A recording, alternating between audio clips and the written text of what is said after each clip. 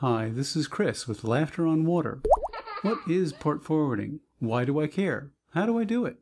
Learn with me today how these settings can make a world of difference when using your magicJack Plus at home. First, why do I care?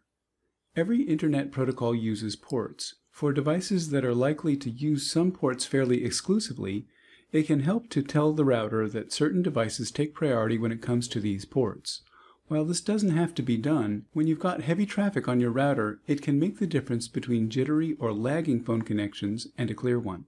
Second, how do I do it?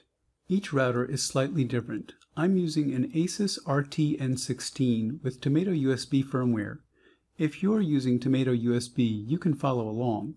If you're using a different router, you should be able to find pages that use a similar method on your router's web interface. Once you're logged into your router, find the basic networking page. Since we've already enabled the basic DHCP server, all devices connected to our router are automatically assigned an IP address. On my local area network, or LAN, every computer address starts with 192.168.0.something. Yours may start with 192.168.1.something. Regardless, my router is set up to automatically dole out a local IP address to any connected device that needs one from a range. Here, that range is from 100 to 149. That means my router can dole out up to 50 IP addresses from that range. However, when the router reboots, any device could be assigned a random new number from within that range. The IP ending in 100 could be my computer one day or my NUC the next day. It can be useful to make sure when a popular device connects to my router that I give it a permanent IP address outside the range of automated DHCP. I usually start with numbers below 100. When I look at my device list in the router web interface, I see a list of devices currently connected to the router. All of them have an IP address starting with 192.168.0.something, except of course for the modem which connects my router to the outside world. Notice that some IPs end with numbers below 100, others end with numbers between 100 and 149. These are randomly assigned by DHCP. The lower numbers are all other devices that have been assigned an IP address statically. To do that, we need to write down the MAC address of the magicJack Plus. If you're not sure of your magicJack's MAC address, look on the back of the magicJack. Or, if your router has the capability, you can look up the first three couplets of the MAC address using the OUI database. When you click OUI, it brings you to another website that shows you the licensee for MAC addresses starting in the range shown. However you confirm, make sure you know the MAC address for your magicJack. Write it down if necessary. Then go to the static DHCP page and add in your preferred static IP for the MAC address of the magicJack Plus. Tomato USB gives me a shortcut.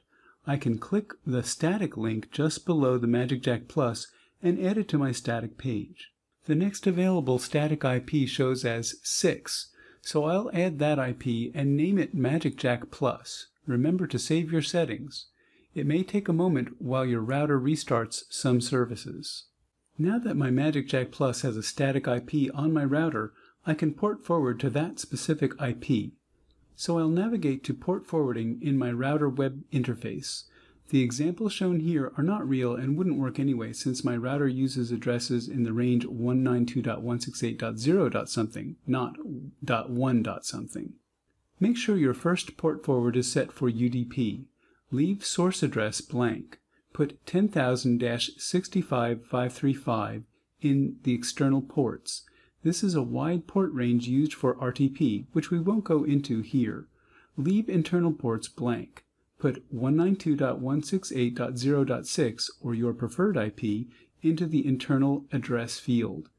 Give your port forward a memorable description like magicJack Plus RTP range. Click Add. For your second port forward, set it also to UDP.